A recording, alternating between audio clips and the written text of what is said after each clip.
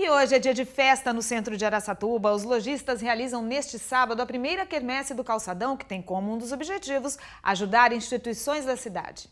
Que tal um pastel antes de fazer compras? As barracas da primeira quermesse do calçadão de Araçatuba atraíram muita gente. E o principal objetivo do evento, realizado pela Associação dos Lojistas, é esse mesmo, atrair os consumidores. A nossa intenção é trazer público para o calçadão, porque descentralizou. Os bancos foram para os bairros, as casas lotéricas foram para os bairros também.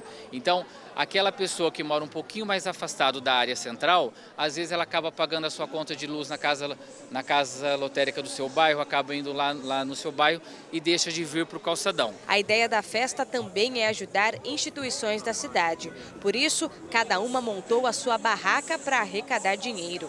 A festa vai ser realizada até o final da tarde e até lá muita coisa vai rolar por aqui. Hoje as lojas abertas até às 16 horas, a quermesse vai até às 18 horas, os shows vai até às 6, né? Tem segurança, tem várias barracas, tem comida típica e tá gostoso, tá bem animado.